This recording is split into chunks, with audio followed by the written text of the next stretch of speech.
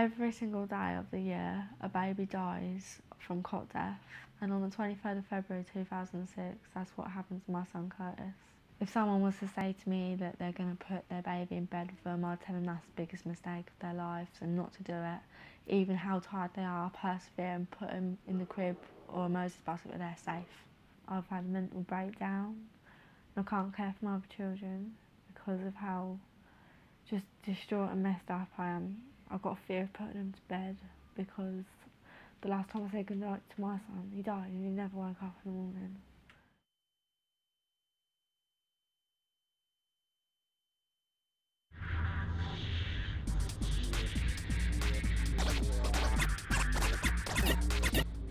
This is some bullshit. It does my head in, Mum. Turn it off! Are lurking around here? I'll burst her little eardrums. You're alright, aren't you, darling? Anyway, Mummy's happy. You look knackered, love. Why don't you get an early night tonight? Lay her on her tummy to sleep like I used to do with you. She'll sleep much better then. Yeah? I'll try that. He's smoking again. I'm sick of telling him. What? You've been smoking. Get off my case. I'm not in the mood for this right now. The window open. Anyway, how's my little girl?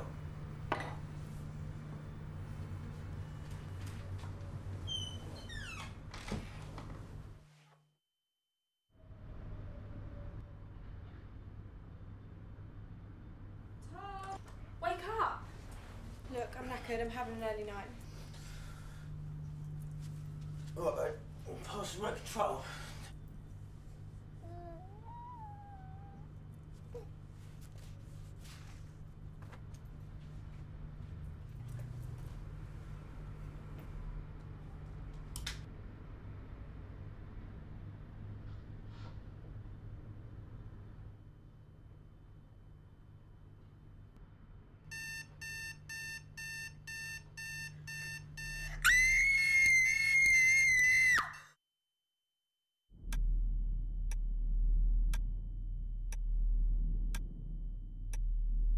It wasn't your fault. It could have happened to anyone. What could I have done?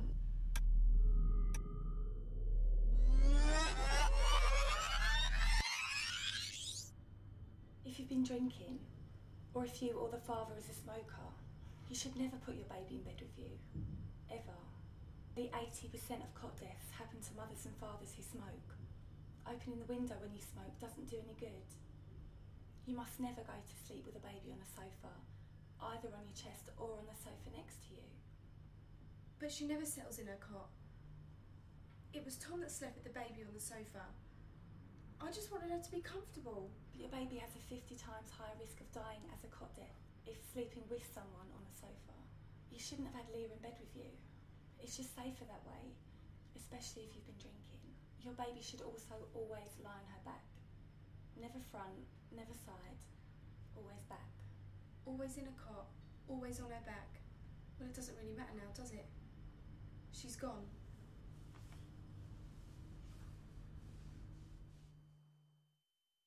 If I knew that was my last goodbye, if I knew that was my last chance, I would have told him the world. I never got that chance. I can't even remember it, and that is, it is sad for me. Someone really sat down with me and said, "Did you know your baby can die if it sleeps on the sofa?" He would never have slept on his sofa. He would have been made to sleep in his cot whether he liked it or not. I would have sat up all night with him. But because that weren't a fear, because never been expressed to me as a fear before, I'd done what I thought was best for him, and it turned out to be something totally stupid.